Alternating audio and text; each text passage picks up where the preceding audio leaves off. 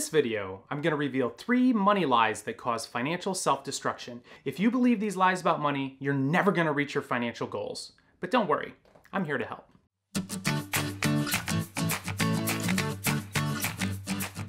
Hey, I'm Dr. Brad Klontz, your financial psychologist. On this channel, we help you transform your relationship with money, master the psychology of wealth, and live a life of abundance. So if you're new here, please subscribe and click the bell so you don't miss anything. So here's the first money lie that'll keep you from achieving the financial success and financial freedom you deserve. Money lie number one good people shouldn't care about money. This lie falls into the category of money avoidant money scripts, and it's pure poison. Look, if you see money and rich people as being bad, you will sabotage yourself. I see it happen all the time. This money lie will keep you stuck, and if you believe it, you'll never have the success you want and deserve. It'll mess with your head. You'll feel guilty when you have money. You'll give it away to people. People you know will misuse it and won't pay it back. Stop doing that. If you think money is bad, your subconscious will work very hard to get rid of it. You'll overspend. You'll let your bills and bank statements pile up and you'll try to forget about money. Now, for sure, there's plenty of examples of people who care about money way too much, doing terrible, terrible things. I got it. But there's also many, many examples of wealthy people doing great things in the world. So what should we do? Okay, so do me a favor. Amass a huge amount of wealth and do some great things in the world with it. Pinky swear? you got it. Money lie number two. Money will solve all of my problems. This money lie falls into the category of money worship scripts. It tells you that a magic pile of money will solve all of your problems. It'll bring you power, freedom, and the joy you crave. You'll live happily ever after, right? Uh, no. Now look, I get it. Money could help you out.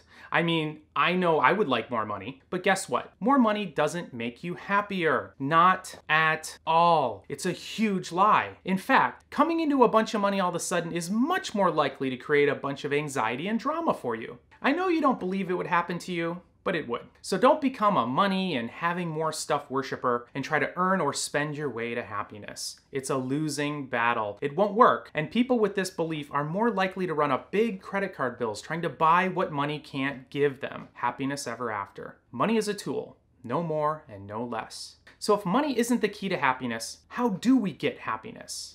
If you want happiness, I mean true happiness, you need to experience it right now, in this moment, in your current reality. This is where the magic is. Go ahead, I'll wait. Got it? Great.